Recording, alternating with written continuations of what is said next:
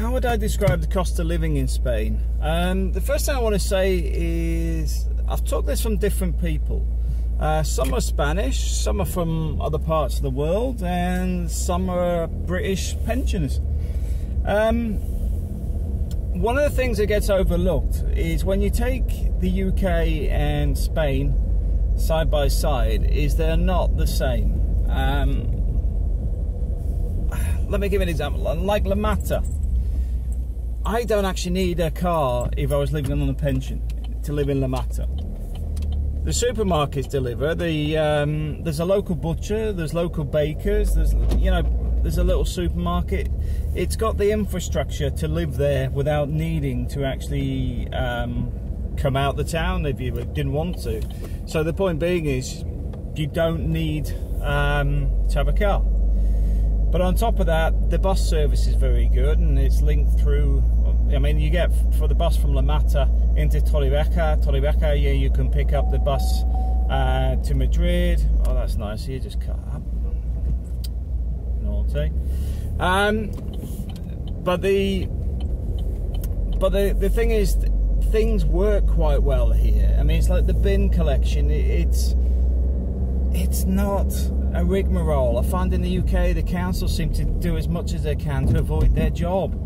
Um, here, you don't really get the, the sort of pictures I see on Facebook relating to some of the areas around the UK where they've got the bins overflowing because the council didn't collect the one week, so then the bins are still getting used, funny enough. Um, what you find here is even if people drop a sofa, like here, like here, there's um, you can't see it, but there's three large tins of paint here, where obviously they're empty paint containers. They'll take them away. Obviously, somebody's had their house painted and they're getting rid of the, the tins. Should they take them away? That that's an argument whether it's domestic waste or um, commercial waste. But the point is, they still get on with it. Where you find with the councils simply just wash their hands of responsibility in the UK. Um, they are trying to curb some of this, by the way. They do ask people to report people. They catch people fly tipping and things, which is a little bit bigger than a couple of paintings. Um, but generally, things flow. And that's one of the reasons that it becomes quite a good place to live. Um, you've got the fact that you can live on about seven or eight hundred euros a month, even if you're renting. Some people will say, well, that, they couldn't do it on that, but that's to do with this, their standard of living in choices. But you can actually do it on about 800. Um, I mean, you're looking at rents for a two bedroom apartment somewhere between three and 400 a month on the coast here. Um, if you move a little bit inland, you might find something even a little bit cheaper. You're looking at the fact that your annual equivalent of a council tax is 200 and something euros a year and not a thousand plus. But on top of that, if you don't own the property, guess what? The landlord pays it. So the point being is there's a lot of things that go in your favour. One of the downsides is obviously medical cover because if you're not a retiree, you got to pay for private insurance. But then again, I pay private insurance costing 120 a year uh, sorry, 129 pounds a month, 129 euros a month, sorry. Um, but that's for the whole family, and it should stay around that price long term. Because one of the things with private medical insurance is, is it seems to be based on what you initially paid. So the longer you pay in, the lower it seems to be, because the younger you are when you started. So from that point of view, the healthcare side isn't too bad. In fact, the healthcare is pretty bloody good here in, in. Even on the state, it gets uh, recognised with awards pretty much every year uh, internationally as a good hospital. The private healthcare I find very good here. Um, now, if you get down to brass taxes on things like heating, electric, and gas, etc., well, a lot of the properties don't bother with the gas. Um, if they do, they have it on the butane tanks, and at the same time, I don't really know many people with that. Um, they might use it for winter heating, but with air conditioning uh, being more efficient now and having dual dual use in the sense of hot and cold, they don't bother. Uh, it's the same with cooking. I mean, you're not cooking all day, so there's no point being piped up to the gas gas system to pay a standing charge, which costs more than the gas that you're actually using. Um, so I find that now, now we're into the hotter months, it's starting to get warmer. The air conditioning isn't in um, heat mode or even in cool mode. A lot of the time you don't even need it on at all. The electric will shoot down to about 80 euros a month. That includes the electric water heater, the cooking, and any air conditioning that we use. So we have it on a couple of a couple of hours just to take the heat off at certain times of the day. The water bill works out somewhere between 20 and 30 euros a month. Um, now, bearing in mind we're a family of family of four, so that seems quite cheap. And I know uh, Denise has had one of the problems with her water water tank on the toilet system. But the thing is that's that's run up a, a, more bit more expensive bill, probably by about 20 euros. But once that's um, fixed, hers will come down, and living on her own, then obviously it's going to be a lot cheaper than ours. The one thing you've got to watch for is the tariffs, because you can get some of these deals where the tariffs are sort of fixed at a minimum of X amount per month, which means even if you don't use it, you're still going to pay that minimum, which could be 30 euros or something, even though you only actually use 15. So keep an eye on that. See see what deals are available and keep up to date with it because like anywhere it's a competitive market um, cost of cars are expensive buying new but personally it's one of those things that if you can find somebody that's a re retired person that's had a car for a number of years and decided they don't need it or something, that's the car to get um, because they are they're often the ones that maintained it. I do find a lot of the vehicles here, the mechanics are a bit dubious sometimes, or too often.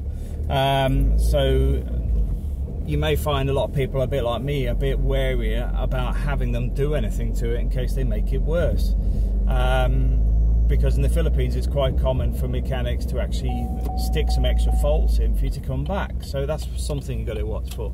There is some of the safeguards ain't there, um, but we have mentioned about the customer book as well, which is something that you can request. So one of the things on those types of things is servicing, the quality of service for building work, new air conditioning, uh, what appliances to buy and stuff. I recommend things like YouTube. I recommend things like the forums, but be careful in the forums because they're often manipulated to people they like um, or they're related to. So you'll get a lot of uh, very positive reviews, and then you find out that it's their brother, their sister, their cousin, or whatever.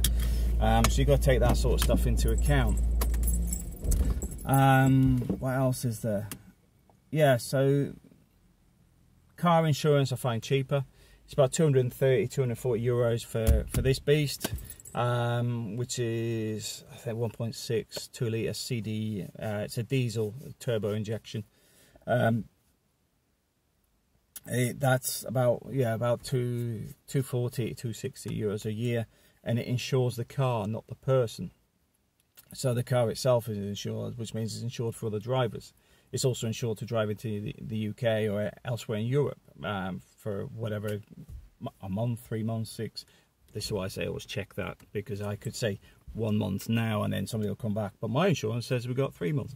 So the point being is they do have insurance for Europe. They also have roadside cover because um, you have to have it in Spain you will have to carry a safety kit in the car, which in, in fact I'll do a video on that because that's something I really need to cover to help people uh, avoid getting any fines. Um, yeah, so I do find generally the cost of living's cheaper, and I've got to admit we are going to be cutting back on our eating out. Um, I don't even want to say we we spend up to 400 euros a month on eating out um, but the thing is, myself and my wife are good cooks. Not that we're blowing around trumpet, but other people do like our food. So the point being is, um, I'd rather do a another channel just on food, and me and my wife will do cooking and stuff on there. We'll stick it in here uh, with the Spanish dishes and stuff. Uh, but the point being is, you can eat relatively cheaply.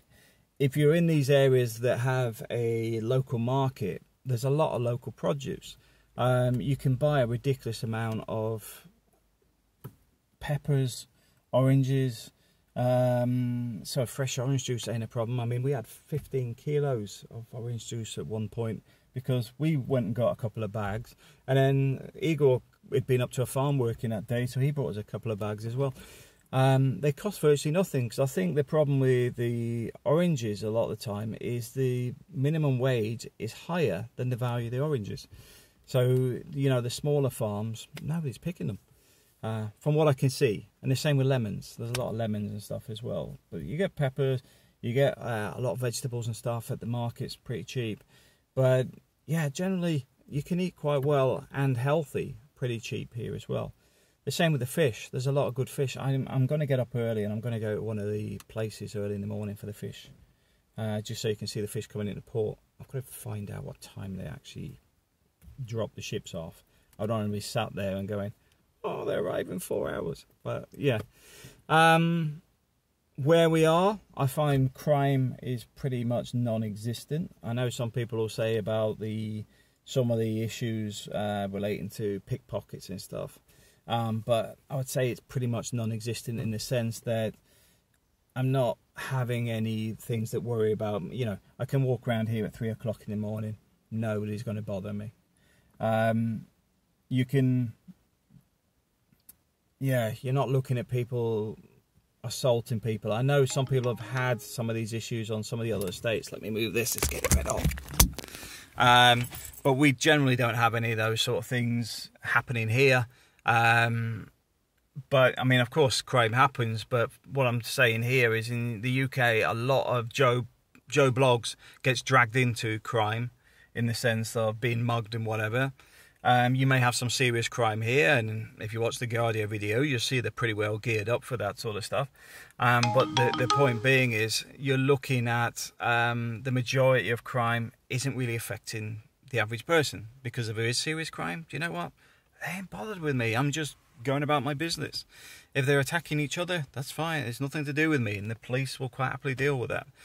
So I don't really feel threatened here in any capacity. Now, don't don't think, oh, Matt gets a bit paranoid. No, I've I've been in some colourful places in the world, um, and I've never felt threatened here at all.